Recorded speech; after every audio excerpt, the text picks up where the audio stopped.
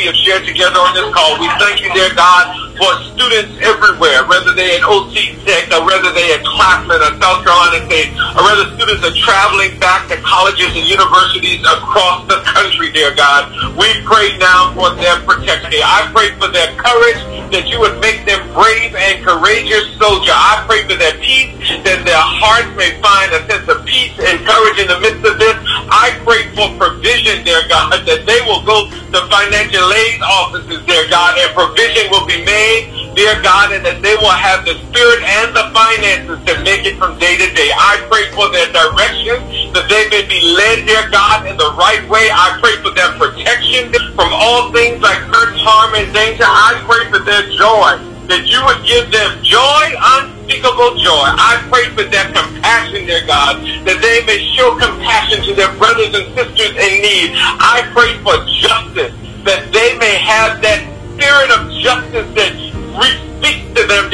in this moment that they may walk in their truth. I pray for wisdom. I pray for hope.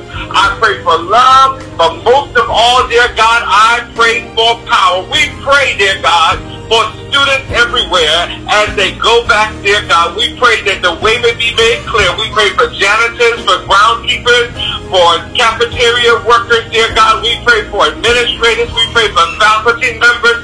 Dear God, we pray that you touch the hearts and the minds and souls. We pray for parents and families who have sacrificed much. We pray for the ancestors and thank you for their spirits and whose shoulders we all stand on today, dear God. We pray for the generation yet to come, dear God, that this may be the foundation. This group of college students in this time, in this season, that they may lay the platform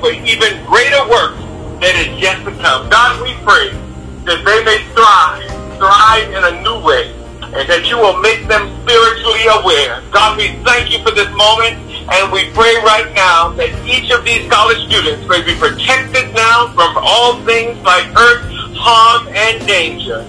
God, we ask this now in your Son, Jesus the Christ's name, and the people of God say, Amen. Amen. Amen. Amen. I want to thank you all again for joining us here at the St. Stephen United Methodist Church, praying it forward. Thank you all again for joining us in this virtual prayer experience. Go forth in peace, and may God's grace go with each of you. Have a good evening, and God bless you.